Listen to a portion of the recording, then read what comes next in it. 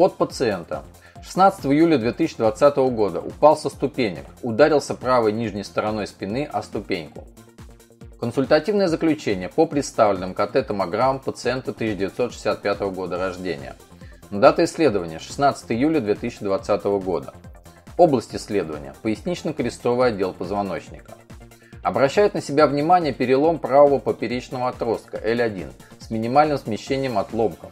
Просвет позвоночного канала не компримирован. Определяются выраженные дегенеративно-дистрофические изменения.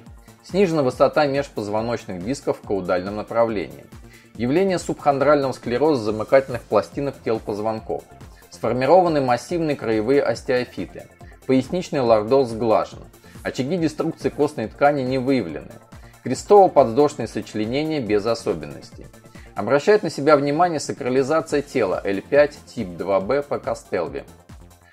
КТ-признаки остеомиелита тел позвонков в зоне сканирования не выявлены.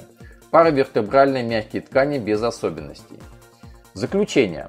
КТ-признаки перелома правого поперечного отростка тела L1, выраженных дегенеративно-дистрофических изменений пояснично-крестового отдела позвоночника. Сакрализация тела L5 тип 2b по Костелве. Ассистент кафедры, кандидат медицинских наук Котов М.А.